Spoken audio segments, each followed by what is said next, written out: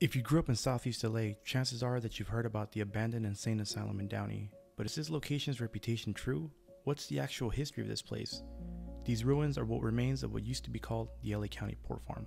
A poor farm was a farm founded and run by local governments to house, support, and employ needy people, who were often the elderly and disabled.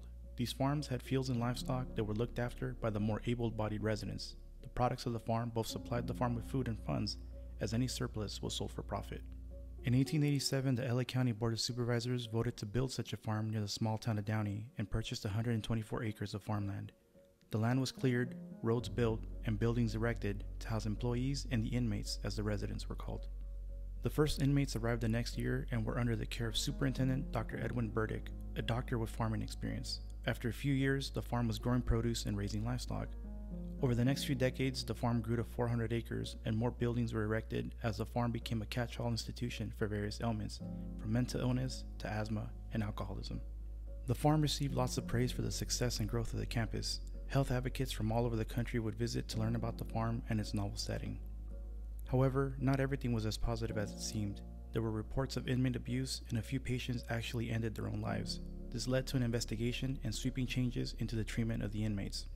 In 1915, William Harriman was appointed superintendent to make some of these positive changes. He started by changing the name of the farm to Hondo after the Rio Hondo River that ran through the land and called the residents patients instead of inmates.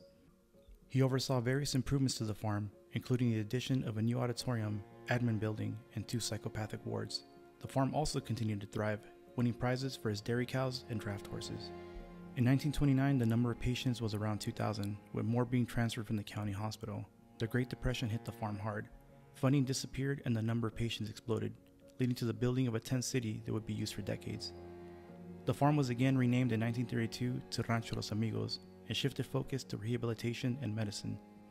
By 1934, the campus had grown to 540 acres and housed over 2,700 patients.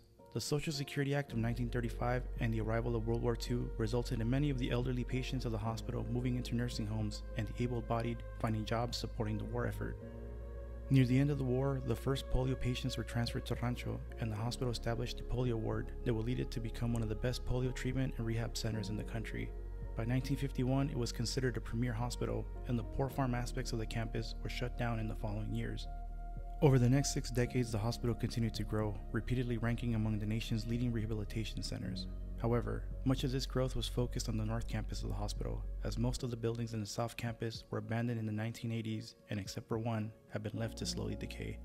This led to urban legends emerging about the deserted South Campus. Stories of the abandoned insane asylum have been repeated, as well as tales of grisly things that occurred there. These rumors were further reinforced in 2006 when a group of Marines found a box full of mummified body parts while using the vacant campus for training. But as we've learned, the history and focus of this facility was much broader than what the urban legends say. The campus currently sits empty, fenced off, and patrolled by 24 hour security. In 2020, the Board of Supervisors voted to demolish much of the property to make way for new county facilities, saving only four buildings for historic purposes.